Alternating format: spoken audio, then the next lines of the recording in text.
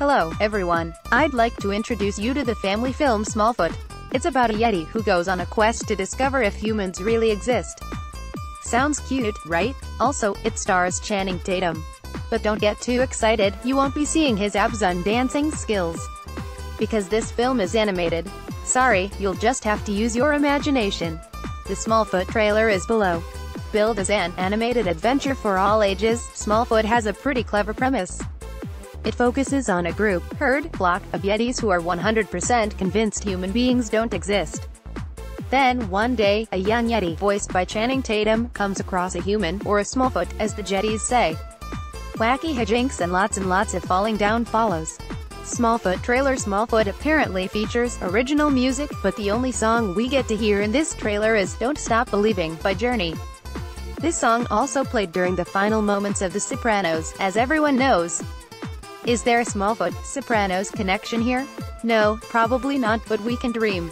Here's my fan theory. After everything cut to black on The Sopranos, Tony Soprano woke up in the body of a Yeti. That's all I've got so far, I need to workshop it a bit. But I think there's something there. All in all, this looks like a fun, harmless family film. The cast is pretty darn good, too.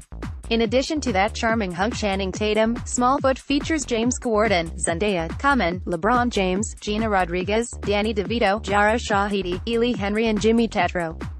One thing I particularly like here, the Yeti designs are clearly influenced by Bumble the abominable snow monster from the Rankin/Bass film Rudolph the Red-Nosed Reindeer. Nice touch, Smallfoot makers. Smallfoot comes from director Karey Kirkpatrick, who directed Over the Hedge and wrote screenplays for Chicken Run and James and the Giant Peach. Smallfoot is set to debut in theaters on September 28, 2018.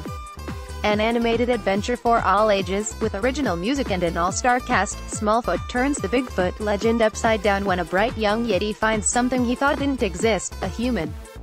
News of this, Smallfoot throws the simple Yeti community into an uproar over what else might be out there in the big world beyond their snowy village, in an all-new story about friendship, courage and the joy of discovery. Cool posts from around